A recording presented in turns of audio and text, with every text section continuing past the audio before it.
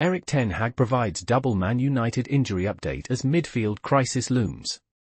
Erik Ten Hag provided an injury update on Kobbie Mainoo and Mason Mount after their withdrawals in Manchester United's 3-0 loss to Tottenham. Mainoo and Mount's injuries are concerning, with Mount possibly concussed. Bruno Fernandes will miss the next three Premier League matches due to a red card. United could face a midfield crisis if Mainoo and Mount's injuries are serious, with Christian Eriksen and Casemiro likely to fill in. Please subscribe to my channel.